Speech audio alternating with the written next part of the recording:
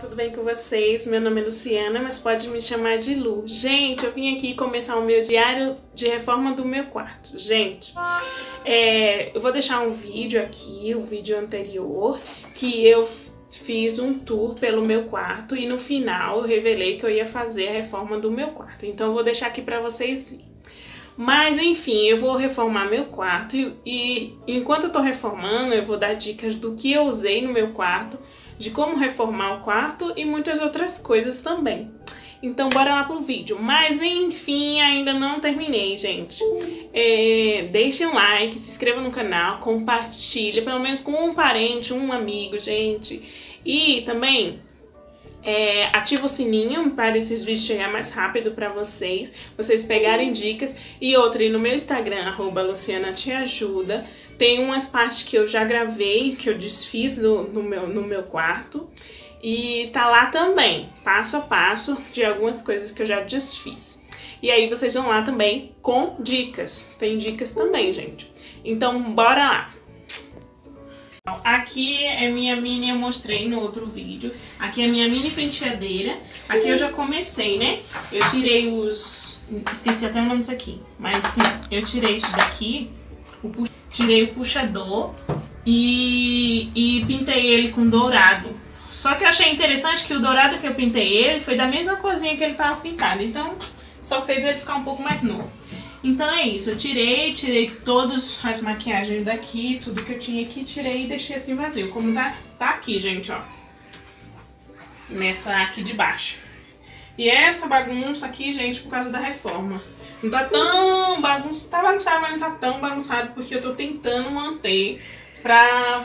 Porque eu uso esse quarto pra gravar e também pra dormir. Então não tem como eu fazer reforma e na bagunça, né? Dormir na bagunça e gravar na bagunça. Esse daqui, gente, aqui é minha mesa de, de, de parede, né? Que você coloca ela na parede e fecha sobe com ela. Eu tirei o paninho que tava aqui, no vídeo tá mostrando, né? O paninho que ela tava aqui. E ali é o móvel que eu desmontei nos meus stories, arroba Luciana Te Ajuda. Lá mostra o móvel, esse móvel aqui, que eu desmontei e também tirei esse tecido, porque tinha desse tecido tinha aqui e tinha ali. Aí eu desmontei. Pra mim pintar de branco, gente, vamos ver se eu consigo. Aqui é o móvel, ó, o que sobrou, eu guardei as outras tábuas, pode ser que eu precisasse. E essa daqui fininha eu vou precisar pra pintar essas tábuas de branco, então vou precisar de alguma coisa pra forrar.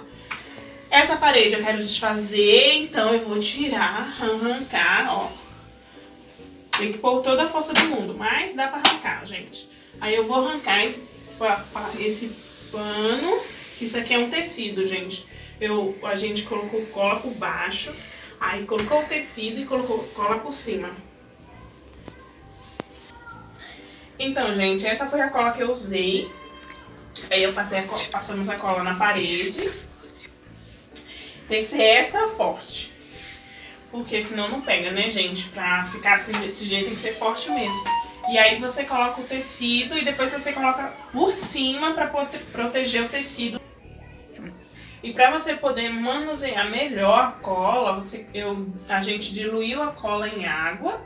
E daí a gente passou igual tá pintando a parede, sabe? Pegou o pincel de pintar a parede e passou a cola, ela diluída em água e depois passou por cima, gente.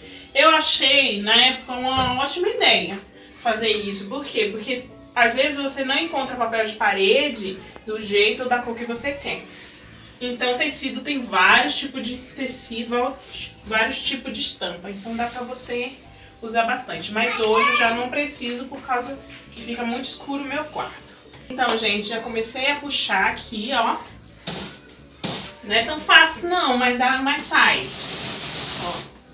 Daí, gente, mas ó, não esqueça, hein, depois desse trabalho todo, tô brincando.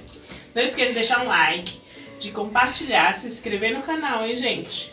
E uma dica que eu posso dar pra vocês é que essa reforma que eu tô fazendo, não é porque eu vou gastar muito nessa reforma. Por quê? Porque como vocês viram no início do vídeo, eu mostrei coisas que eu já tinha e que eu vou só pintar. Então o máximo que eu tô gastando aqui é com a tinta, a tinta da parede e a tinta dos móveis. Mas Então, pessoal, como eu tava falando, eu não vou gastar muito nessa reforma. Então, essa é uma dica para vocês. Usar o que vocês têm pra, pra usar o que vocês têm para não gastar muito, porque a gente não tá para gastar, né, gente? Mas enfim, quem colocou esse, esse pano na minha parede foi meu pai e minha mãe. Então, gente, a minha mãe tá explicando detalhado, mais detalhadamente como foi que ela colocou o tecido na parede, ela e meu pai, lá no canal dela. Vou até deixar o, can, o link do canal dela numa, na minha... aqui abaixo, para vocês ir lá dar uma visitinha e ela vai mostrar passo a passo de como que ela fez isso na parede, tá bom, gente? Então, esqueça de deixar um like, se inscrever no canal, compartilhar, ativar o sininho para mais dicas da Lu, visitar e ficar lá no meu Instagram, arroba Luciana Te Ajuda. Tá bom, gente? Então, beijo, beijo, beijo. Voltando, pessoal, esqueci, gente, o diário significa muitos, passo a passo. Então, ou seja, aqui eu comecei meu diário hoje, né?